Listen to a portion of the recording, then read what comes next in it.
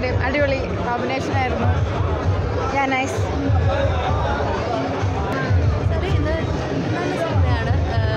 Vinayakan സുരാജേട്ടന്റെ show തന്നെയാണ് ഇത് full അവർ തന്നെയാണ് ഈ ഫുൾ സിനിമേനെ കൊണ്ടുപോകുന്നത് സോ നല്ല കോമഡി വാച്ചാണ് താങ്ക് യു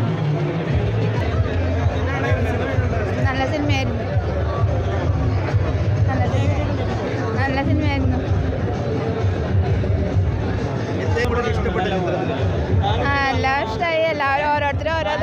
സൂപ്പറാണ് ആ ഫാമിലി ഫാമിലി ഓറിയന്റഡ് മൂവിയാണ് നല്ല മൂവിയാണ് നല്ല മൂവിയാണ് എല്ലാവരുടെ കോമ്പിനേഷൻ നന്നായിട്ടുണ്ടായിരുന്നു നല്ല സ്റ്റോറി ഫാമിലി ഓറിയന്റഡ് മൂവിയായിരുന്നു ആ ലാസ്റ്റ് എനിക്ക് ഇഷ്ടമായി സെക്കൻഡ് ഹാഫ് ഇഷ്ടമായി കൊള്ളാം കൊള്ളാം. അടിപൊളിയായിരുന്നു നല്ലായിരുന്നു ഇനി നിങ്ങളാണ് കണ്ടു പറയേണ്ടത്.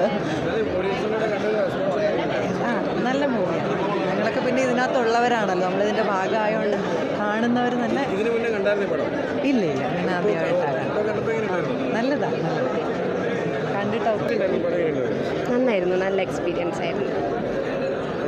ആ ഫാമിലി മൂവി കുഴപ്പമില്ല. നമ്മളതിലിപ്പോൾ സുഹൃത്തുക്കൾ അതിലിപ്പോൾ ഒരുപാട് കേസുകളൊക്കെ അങ്ങനെ നീണ്ടു നീണ്ട് പോകുന്നില്ലേ? അപ്പം അത് ഇതാക്കുന്ന ഒരു ചെറിയൊരു നല്ലൊരു മൂവി എനിക്ക് ഭയങ്കര ഇഷ്ടപ്പെട്ടു.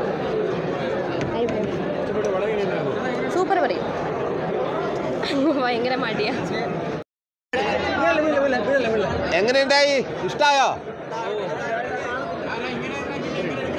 ഞാൻ കണ്ടു തിയേറ്ററിന്റെ ഫ്രണ്ടിൽ കിടന്ന് ഡാൻസും ബഹളവും എന്തായാലും ഒരുപാട് സന്തോഷം. വിനായൻ ഭായി വന്നില്ല ഞാൻ മാത്രമേ എത്തിയുള്ളൂ. ഇതൊരു പ്രത്യേകതരം വൈരാഗ്യമുള്ള ഒരു സിനിമയാണ് വൈരാഗ്യമാണ്. അല്ലേ? അപ്പോൾ നിങ്ങൾക്ക് ഇഷ്ടമായെങ്കിൽ തീർച്ചയായിട്ടും എല്ലാവരോടും പറയുക. ഏ കാണാത്തവർ ഈ സിനിമ കാണുക. തെക്ക് വടക്ക്. താങ്ക് യു ആ പടം കൊള്ളായിരുന്നു ഏ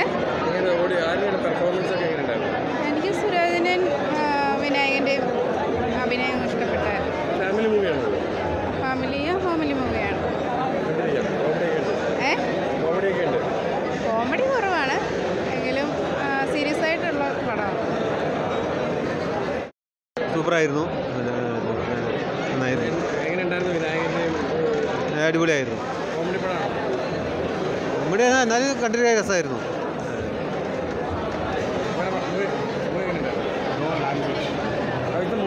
Good good good enjoy yes.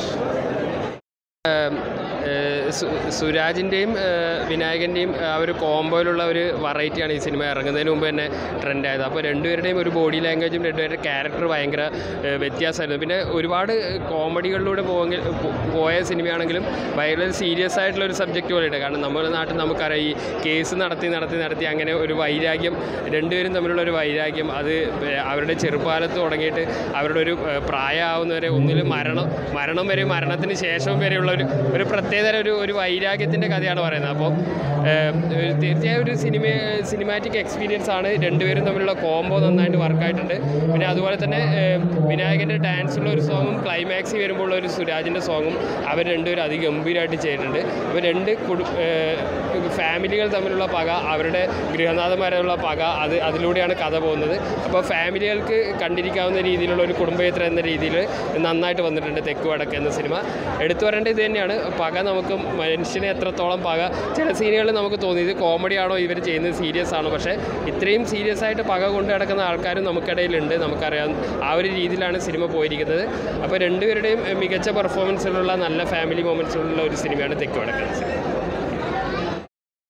നല്ല മൂവിയായിരുന്നു. അതിൽ സുരാജേട്ടനും മറ്റേ വിനായകനും സൂപ്പറായിരുന്നു ബാക്കി എല്ലാവരും സൂപ്പറായിരുന്നു എല്ലാവരും നല്ല നല്ല മൂവിയാണ്